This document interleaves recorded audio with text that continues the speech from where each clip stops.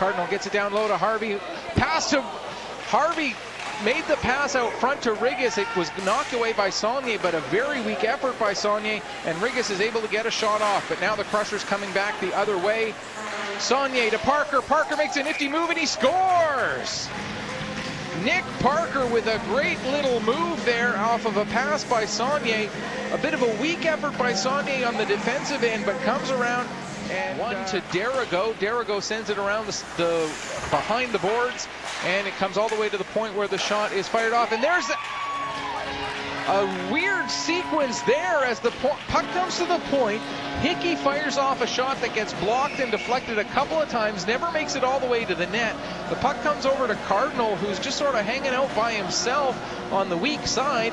And uh, because Thibault was set, set up for the original shot, didn't get himself moved over to uh, cover that uh, that shot from uh, from Cardinal, and so it's now seven to four behind the net for Boudelier. Boudelier for Brown. Brown now has it at the face-off circle, sends it back to the blue line to Harvey. Harvey across to Rigas. Rigas fakes the shot, gets it down low to, to Cardinal. Cardinal to Brown, and a beautiful goal by Brown right in between the two face-off circles. Brown had all kinds of room as a great passing play by the Metro Shipbuilders. They score their second power play goal of the night. The Crushers lead is now down to 7 to 5 with 2.25 to go here in the third period.